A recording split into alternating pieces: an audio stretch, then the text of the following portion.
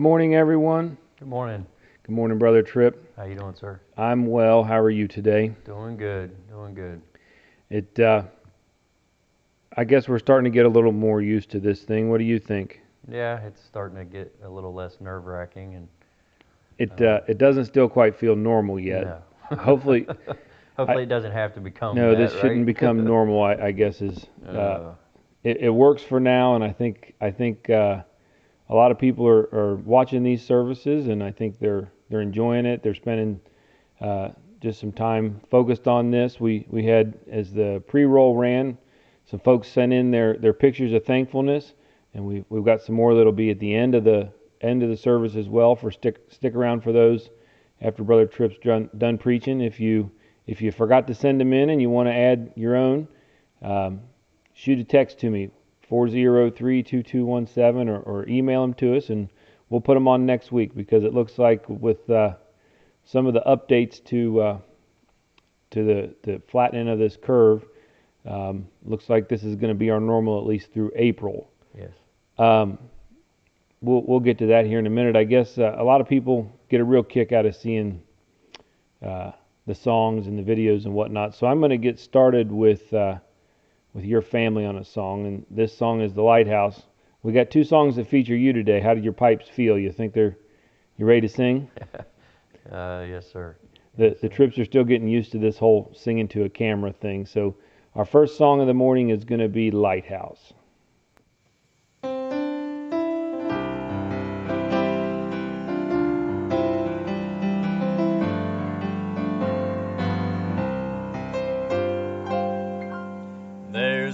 Lighthouse on the hillside that overlooks life's sea. When I'm tossed, it sends out a light that I might see. And the light that shines in darkness now will. If it wasn't for the lighthouse, this ship would be no more. And I thank God for the lighthouse.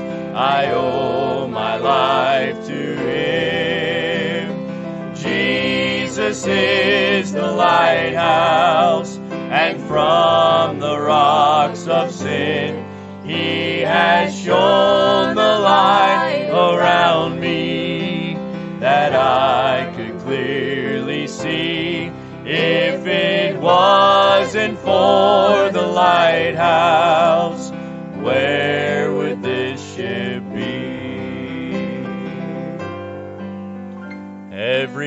Everybody that lives around us says tear that lighthouse down. The big ships don't sail this way anymore. No use in it standing round. Then my mind goes back to that stormy night when just in time I saw the light was a light from that old lighthouse that stands up there on the hill. And I thank God for the lighthouse. I owe my life to Him. Jesus is the lighthouse, and from the rocks of sin, He has shown the light around me that I might clearly see. If it wasn't for the lighthouse, where would this ship be? If it wasn't for the lighthouse,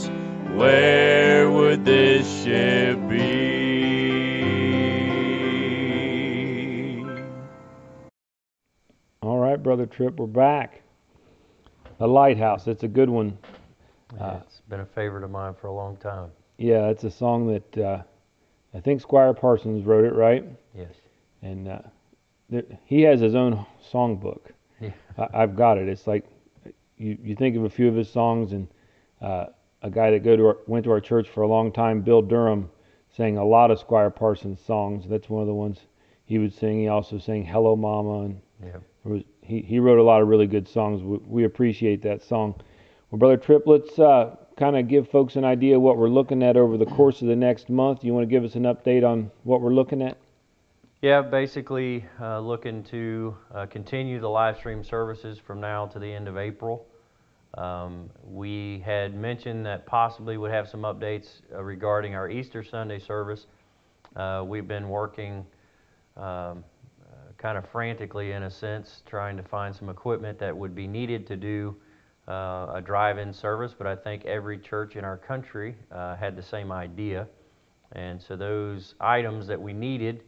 Uh, at least at this point, it's looking like we're not going to be able to get a hold of those. So at this point, um, we will continue just to do the live stream service. Um, but if something uh, was to happen where we can get our hands on that equipment, we will definitely update you and let you know uh, so that we could have a uh, drive-in service where you would pull into the parking lot, turn on your FM radio, and I could uh, preach to each each of you at that time. But as of right now, uh, it's kind of not looking like it's going to work out, but uh, we're still trying. Got some people still looking. So um, just if the Lord wants it to happen, I believe it will. If not, we'll just continue forward the way we are right now, and uh, we'll just. I uh, I called a manufacturer that makes one of the products that a lot of these churches are using. Um, this was earlier in the week, and I he said uh, I asked him about an FM broadcaster. He goes, "You're with a church, aren't you?" Yeah, I'm, I'm with a church. He goes, "Well, we've been sold out for a week," and then he he chuckled. He goes, "Last year we sold 20 of those," and he said, "You're the 15th call I've had today." Wow. yeah. So uh, it's it's not something you think about, but uh, first it was toilet paper, and Yeah. and then it was milk and flour, and now it's FM broadcasters, Yeah. a, a device that next to no one uses. But uh, Right. yeah, we we couldn't get our hands on one. As far as uh, how we're going to do it, we're going to keep doing our live stream each Sunday at 11. Um, we're going to kind of set them up as the watch parties thing. We're trying, as you might notice here, we're we're trying to set these up so that uh, we can interact with you a little bit while the sermons are going on. Uh, we're going to continue to have some special songs. Um, in fact, we're gonna we're gonna go ahead and transition into our our next song now. This is Brother Tripp singing by himself, and uh, this song is "God Makes No Mistakes."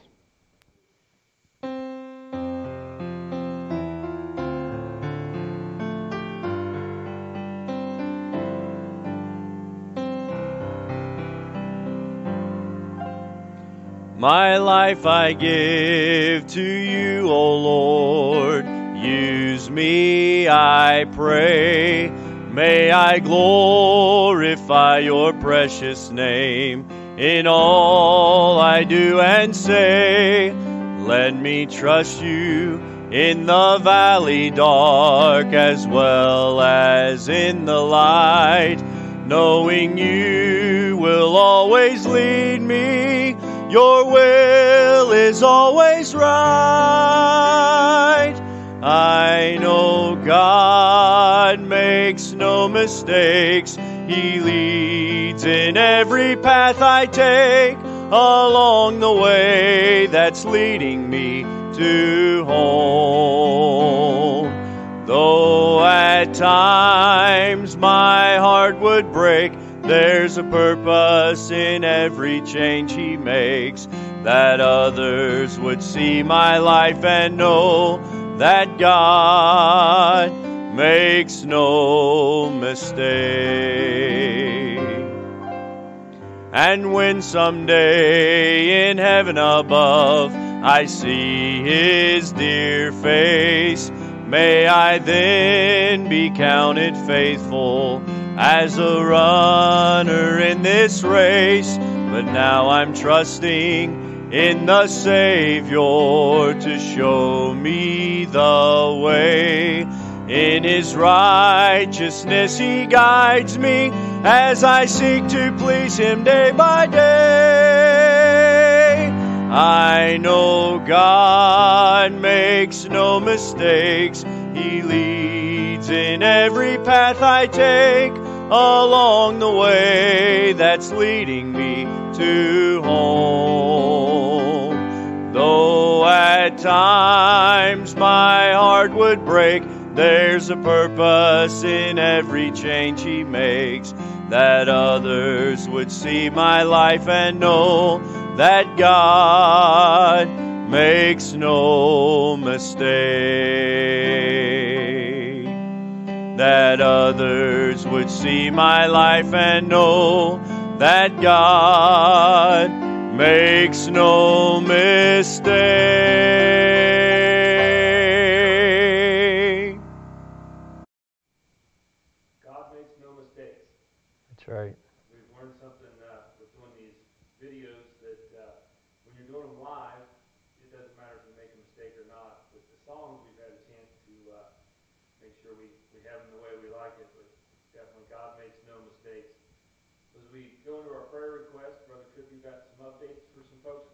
Yes, um, I actually received an update from Brother Jason Wyckoff. Um, he is back home now. Um, things are going in the right direction. Uh, his body is reacting the way the doctors were hopeful uh, that it, they, that he would react. So, as of right now, um, they had told him in the beginning he would he would probably be going back for a second treatment because uh, his, his cancer being in the stage four. Um, but everything's looking very good. He's going through some more blood testing, but it looks as if right now, towards the end of May, uh, beginning of June, he'll go back for that second treatment, which should be the last treatment he needs. And we're just praying for a full recovery, that God would just allow this uh, time and these treatments um, uh, as a healing process for his body and give him more time with his family and, and uh, just keep him in your prayers. Also, just want to remind you um, the GoFundMe page for him is still open. We are still uh, trying to raise money to help him. Uh, the original cost just for the treatments were almost $50,000. That's not accounting for hotels and food away from home, being off work, uh, just the, the, things that add into that. So uh, you'll notice we put the uh, the goal is 75,000 on the GoFundMe for him, um, and that is I think we're getting close to maybe $20,000. Uh, but really, if you can, I know right now times are, are crazy and things are, are a little strange, but we're just trying to help a brother in the, in the Lord out to, uh, to be able to handle these um, uh, costs and things that, that come from this. So if the Lord would lay it on your heart, um, you, you can uh, take part in that. Also, um, uh, Miss Jess, uh, from what I gather, is, is you know, progressing, still got you know, little ways to go with recovery, but um, I know uh, things are going well for her, so you continue to pray for her. Continue to pray for the Fishback family. I did get to talk to Miss Debbie a little bit, and, and uh, I know it's going to be a process. It's it's a change uh, for her and for the whole family. Um, so you be in prayer as they transition. Uh, number one, just transitioning from not having Brother John there, um, and and the way that affects their lives, and then also continue to pray for Nate and Annette uh, with the loss of their baby. Um, and uh, my parents, um, kind of a, a, little bit of an odd uh, situation, I know, uh, with my daughter having her child uh, back in March. Uh, they, because of all this, have not been able to travel up to see the baby, and I know my mom is chomping at the bit to get up here to see little Joseph, but um, you just pray for them. thankfully, right now, I believe they're all doing well. Um, and uh, Lord willing, before too long, they'll be able to get uh, get up here to see uh, the baby and see the rest of us. So, anything else, Brother Alex, on your end? No, I think uh, I think that has most of it. I was hopeful to hear about your parents. I'm glad they're doing well. We prayed for your mom's treatments as well. We were talking about Brother Wyckoff's treatments. I think before we turn it over to you, I've just a couple brief announcements as far as sending in your tithes and offerings. Um, you can mail those here to the church if you'd like, or you can go to the church website and do that through Easy Tithe and do those online transactions. But uh, wanted to encourage you to do that. Uh, Nathan's going to be checking out here at the church, uh, making sure that things get here. So if you do mail it, we someone's here at the church nearly every day checking on that stuff, so you don't have to worry about that getting lost. Uh, before we turn it over to Brother Tripp, we've got one more video it's my daughter this time. She uh, she wanted to sing, and Miss Lydia indulged her. So we have uh, Lorelei Cunningham singing, "I Have Decided to Follow Jesus."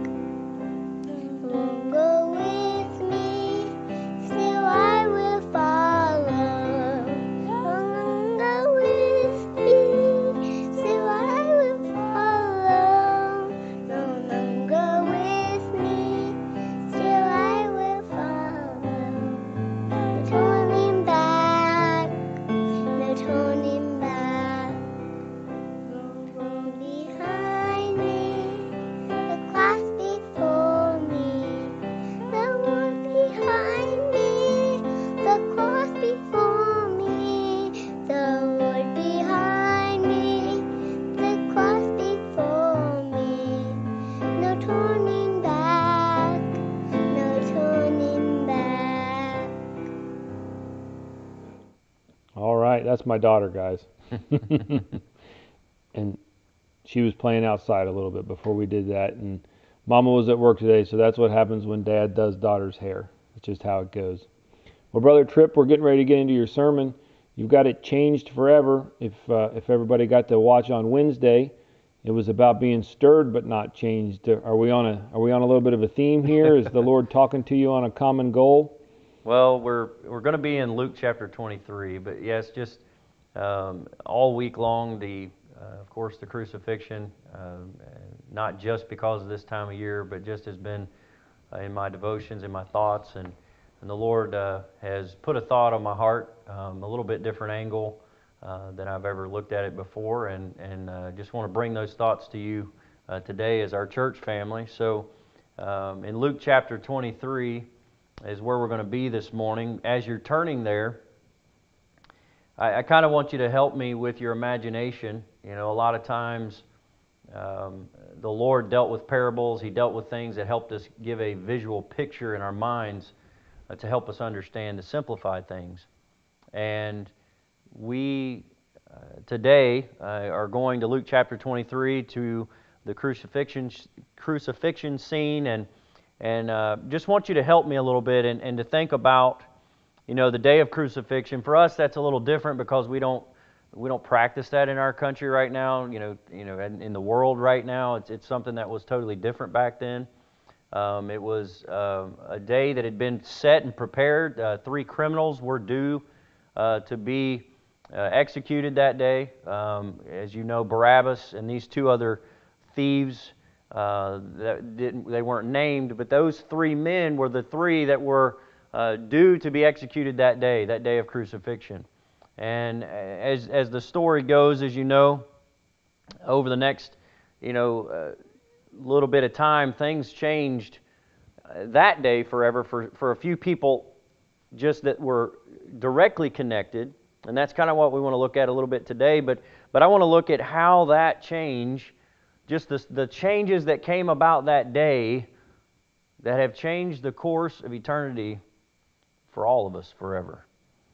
And so, uh, with that thought, just try to take yourself in, in, in, You know, I know some of you have maybe seen movies or whatever of, of the uh, crucifixion and what our thoughts would be that they might look like or may have sounded like. Or, you know, I, I guarantee you none of us uh, totally understand how brutally he was marred for us just by the, the way the Bible talks about him not even being, couldn't even tell he was a human.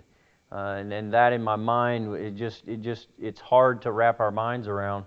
But, but just setting that tone of, of being there, you know, being in the crowd, maybe being uh, around and, and, and the course of, the, uh, of what happens. Um, you know, Barabbas here was known, uh, the, the Bible tells us that he had uh, he wasn't only a robber, but he had, he had actually committed murder, and that's why he was due to be uh, uh, executed. These other two men were thieves, and we don't know for a fact, but, but part of me kind of tells me they were somehow linked together in this insurrection that was going on. Um, and, you know, I could just imagine as Barabbas is sitting there in his cell waiting to be taken and nailed to a cross. You know, his mind and, and, and thinking and hearing all the things outside and, and just all the things. But, but one thing that changed for Barabbas was when the, the Roman guards came and looked at him and said, Hey, Pilate has given the order to release you. You know, that changed. That was a change in Barabbas' life in the, in the physical side of life, he no longer was going to die that day. He, he no longer was going to be executed for the wrongs he had committed, but the people were crying for him to be delivered to them and for Jesus to take his place. So, thinking about Barabbas and, and how that affected him. And then, you know, I kind of got to thinking of, I wonder what the other criminals thought about that. You know, why not them? Why, why not one of them instead of Barabbas? Why, why Barabbas? Why, why not one of them? If they were all kind of together in this and they were, you know, whatever was going on, why Barabbas and why, why not one of them? So thinking not only for Barabbas, the change was like, wow, he gets to go back home to his, his family. And I don't know if it changed his life forever. We don't hear a lot about that, but one, you know, that's one of the questions. I don't know how some of you are. I've got questions that I'm going to want to ask uh, when I get to heaven or find out or go find, you know, somebody that, that was there that knew. Um, but, but I wonder how that affected Barabbas' life forever. I mean, just can imagine what he had gotten involved in to the place where he actually killed somebody and he's getting ready to be executed and they open the cell door and say, You're free to go. How did that change his life forever? How did this change for just a moment those criminals thinking about, wow, Barabbas gets to go home. We're still going to die. We're still going to be executed for our wrongs.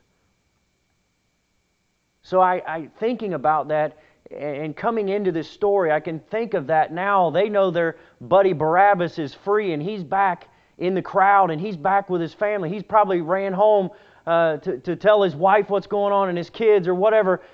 And they are now, I can even see the, the vehemency that even builds up even more in them that, you know, that it was unfair that they have to go be executed and he didn't. And now Jesus has been thrown in the midst of them. Jesus, and, and I'm sure they've heard uh, the, the stirrings about Jesus. They've all, you know, of course, they've heard the religious people that day as, as they were chanting to crucify him, and the words of, of them saying that he had made himself, you know, God, and they were, you know, uh, just all the, the taunting and the mocking and, and all the things that were going on. And so, as we come into this story in a mindset of just thinking through this process, I think a lot of times you kind of have to, when you sit down and read the Bible, uh, because of the way the Lord taught, even, I believe we have to, as individuals, bring ourselves mentally into not only the context of Scripture, but into the atmosphere. What was this really like? You know, just to read the words of this story is not enough. We've got to take, He gave us an imagination and a mind, I believe, to think about what's going on through this whole situation.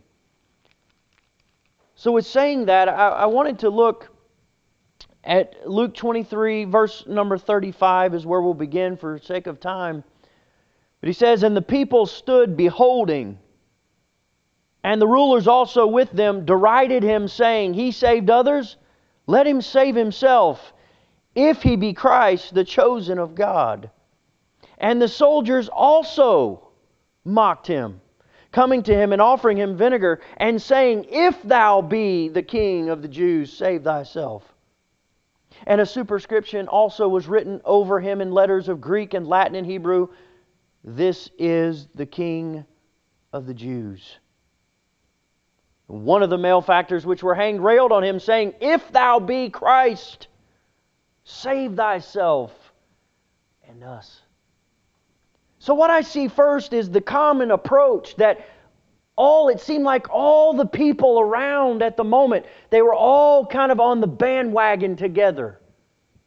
You see the religious people, the rulers, the soldiers, the thieves even kind of joining in and, and, and taking that common approach to this Jesus that has now been thrown in their midst. And, and and they're saying, you know, if if you know, if he is who he says he is, have you know, he said in, in verse 35, if he be Christ, the chosen of God, mocking him and saying he saved others, himself he cannot save. So the common approach of this day for the rulers, the religious people, for the, for the, for the soldiers, and, and even for the thieves that were, were, were uh, crucified beside him, the common approach was, if thou be, prove it to us. If you're really who you say you are, save yourself and us. That approach was a mocking approach. And, and as I read this, and this time reading this, the first time I ever really had this thought, but I, the thought, when you, when you hear these words, I began to hear something else ringing out in my ears. There was someone else that was asking the same questions. If you remember when Jesus Christ was taken out into the wilderness and tempted for 40 days. And the, and the devil was tempting him. If you go to those scriptures, you will find that Satan, his words to Christ were, If thou be the Son of God. And so, what I begin to hear is the, the common approach that comes down from the devil. It comes down from the father of this world, so to speak. The, the, the one who from the beginning has been trying to deceive people and trying to, to get people to ask that question if thou be the Son of God, if thou be the Son of God. And Satan, that's what he was asking the Lord. If you're the Son of God, then do this. If you're the Son of God, then do that. If you're the Son of God, then do this. These people were saying the same thing. You know, and the Lord over in, in uh, I believe it's in, in, in John chapter number 8. John chapter number 8.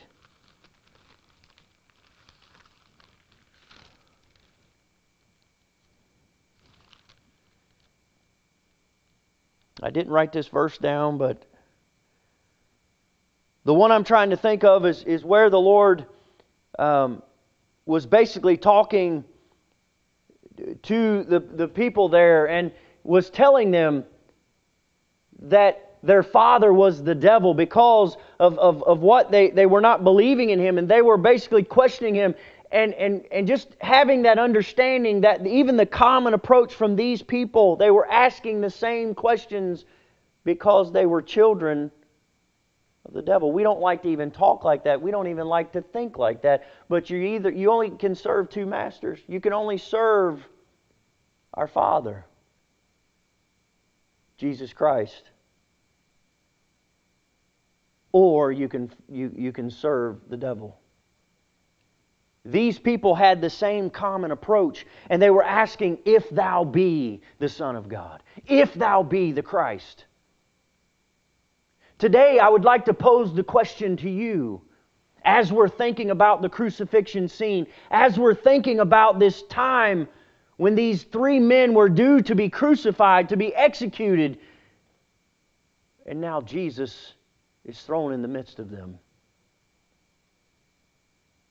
There are several people that, that I have even heard in my own life, but there are people all over this world who are still saying things like, well, if he is truly God, then why doesn't he do this? And why doesn't he do that?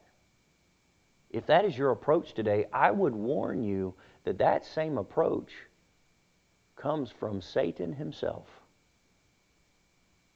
Because I say to you today, the question is not if he is the Son of God.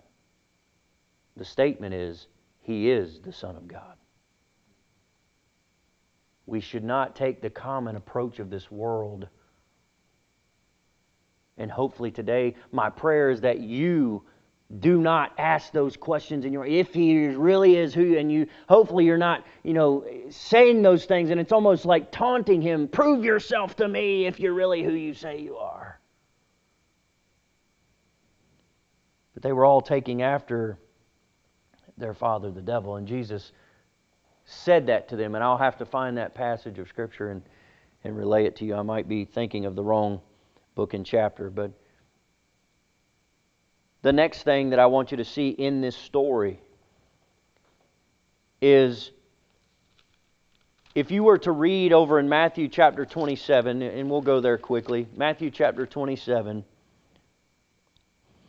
in verse number 44, we have this same story, and it tells us in verse 44, it says, The thieves also, which were crucified with him, cast the same in his teeth.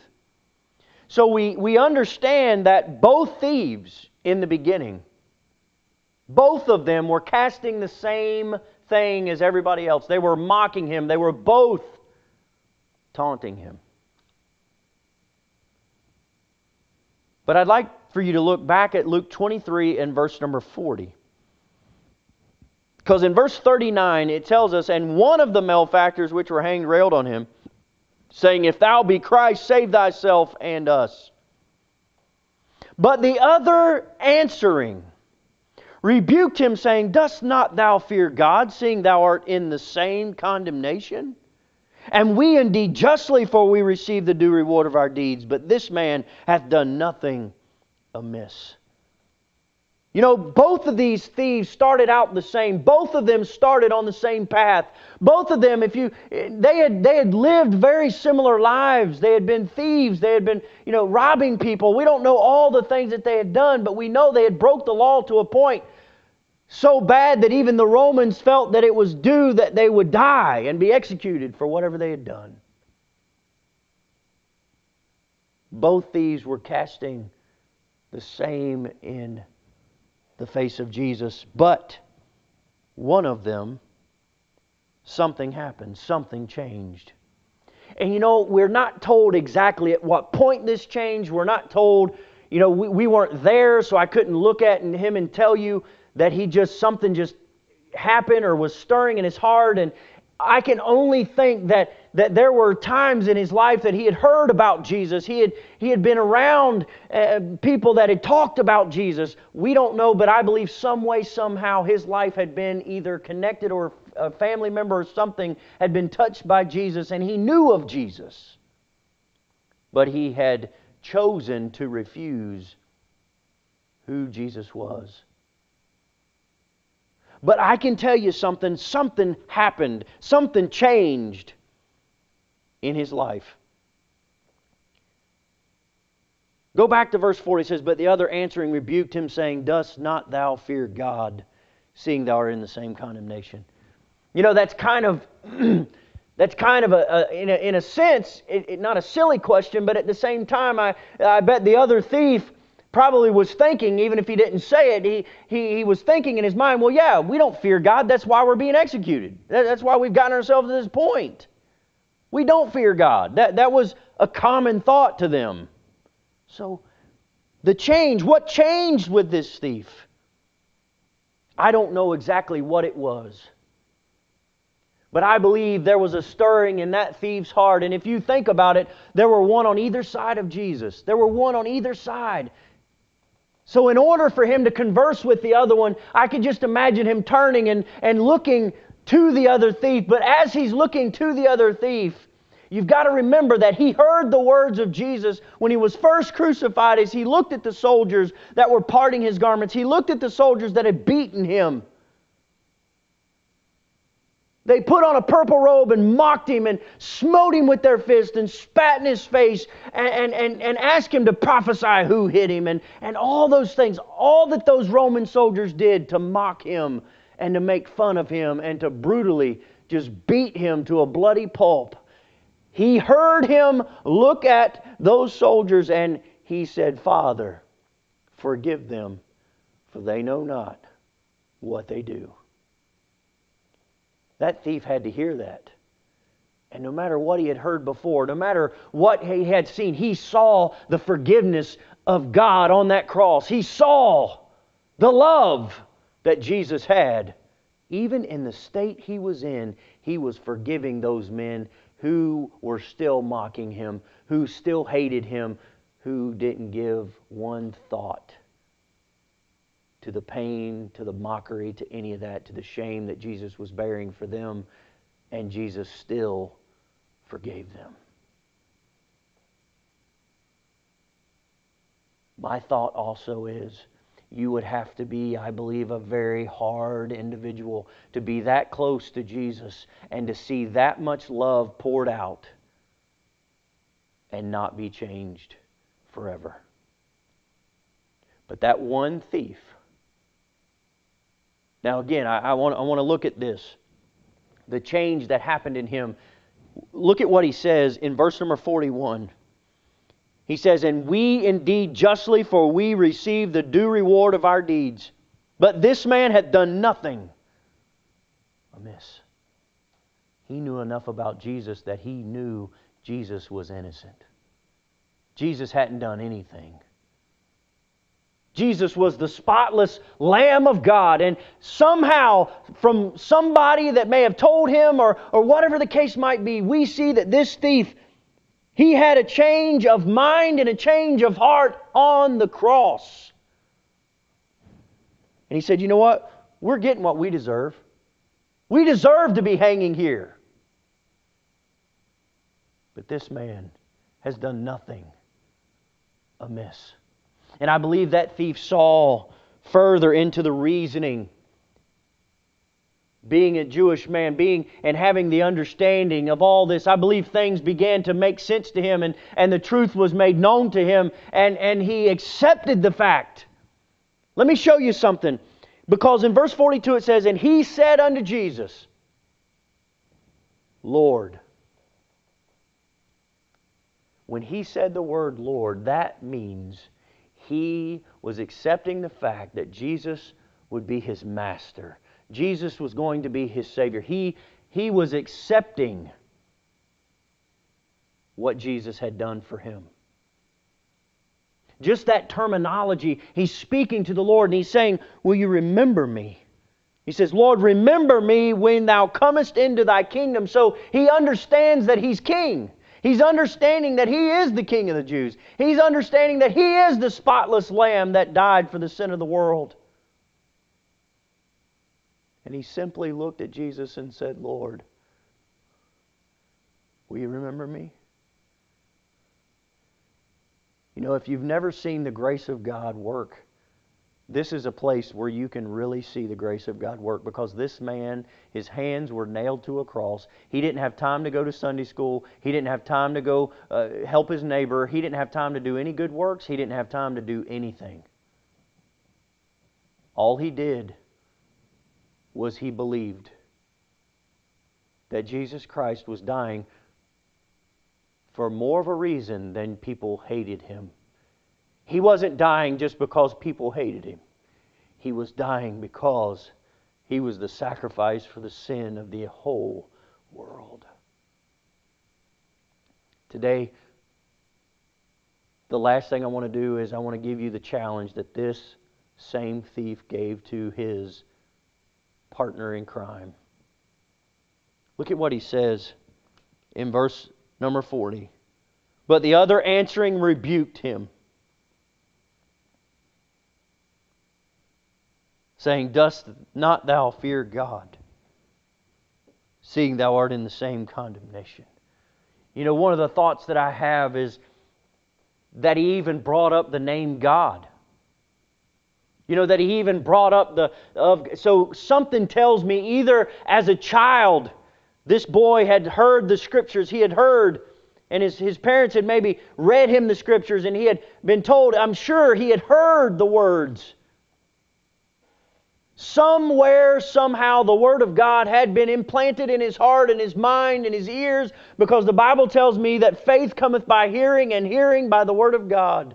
And because his life was changed, he challenged that other thief and asked him the question Dost not thou fear God? Don't you fear God at all? Don't you understand? I believe he's basically saying to him, Don't you understand what's happening here? I would challenge you today If you are not saved, if you've never accepted Jesus Christ as your Savior, I will tell you right now, It has nothing to do with any works of any shape, any form at all. Because this man on this cross had no way of doing anything. He only had a moment of time. But the words of Christ and the presence of Christ was so powerful that it changed his mind and his heart, and it changed his life forever. And I'm asking you today, if you've never accepted Jesus Christ, that you would allow him to change your eternity forever. I challenge you today to think about Jesus on that cross and what he did for us. He became sin. He became sin for me. He became sin. He, he took all of it for me. I am not saved today because I've chosen to live for Him and I've chosen to try to do everything I can to get other people to see the love of Christ. That's not why I'm saved. I do those things because I am saved, because I love my Savior. But today, just as he looked at this thief, look at what he says in verse 43 And Jesus said unto him, Verily, I say unto thee, today shalt thou be with me in paradise. I wanted you to see one more thing that I'd never really thought about before until this past week. You will notice Jesus never replied to anybody that said, If thou be the Son of God. He never replied to any of them. He didn't say anything to this other thief that was railing on him, saying, If thou be the Christ, save thyself and us. He didn't have a reply for him. But as soon as this other thief reached out to him, he called on him. As he tells us in his word, he will hear us. And he answered him and he said, Verily, that means truly, I say unto thee, today shalt thou be with me in paradise. Let me ask uh, people, if you have if, if, if any of you have never accepted Christ, today can be your day of salvation. He doesn't wait five years, he doesn't tell you to hold off. No, he says today, right now. Right now, your life can be changed for eternity. And my prayer is that you look at the crucifixion scene and understand what it is and understand what it means to us. The Lord tells us that to us, He said that the preaching of the cross is foolishness. You know, it's foolishness to them that perish, the Bible says. If you know, the preaching of the cross is foolish to a lot of people in this world. But he says to us, it is the power of God. Why is it the power of God? One more passage and I'm done. Why is it so powerful? It's as simple as this John chapter 1 and verse number 12. It says, But as many as received him, but as many as received him, to them gave he power to become the sons of God, even to them that believe on his name. You know why the preaching of the cross is so powerful to me? Because it's such a great reminder of what he did for me and the love of God that was shown forth into my family and into my heart and into my children, my wife, and the church family, and all those people that I've met all throughout my life, that their life has been changed because of the love of God. That's the power. It's powerful to us. My prayer is today that it would be powerful to you. Please allow the love of God to change your life forever. You know, we've got a lot of things going on around us. We've got a lot of things happening. Here in another month or so, things will start spinning around, going back to normal. The effects will be around for a little while, but five or ten years down the road, this will just be something we talk about. But you know what? I was thinking as well.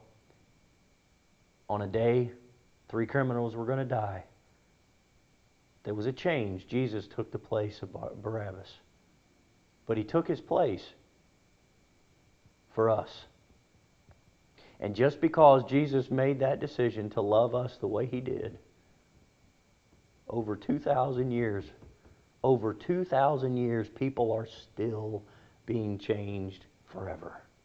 And you can be one of those people today. Let's have a word of prayer. Father, we love you and we thank you.